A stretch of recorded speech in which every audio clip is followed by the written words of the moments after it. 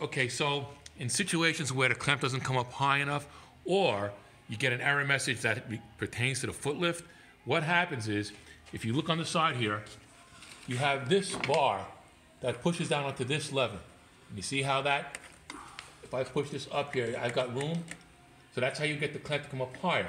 If it bottoms out on here, you're gonna get an error message, because the step motor that turns this to lift it would be bottoming out. So the way you adjust that is you would take these screws off here and take the top cover off.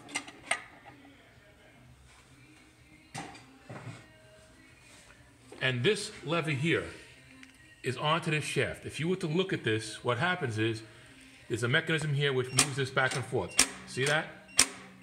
And if you look here on the side, it's moving that bar up and down. All right? So what you do is, when the clamp is all the way up, you loosen this,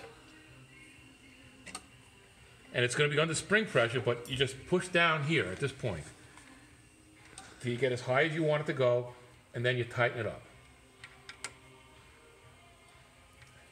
And then you check it. And what I'm using here, there's a button here to make the clamp come up and down. When the ready light is on, there's a button here to make the clamp come up and down. So I'm doing that, and I'm watching that move. But you see, you need to make sure that this doesn't bottom out here. If it bottoms out, then the mechanism's gonna stall and you're gonna get an error message.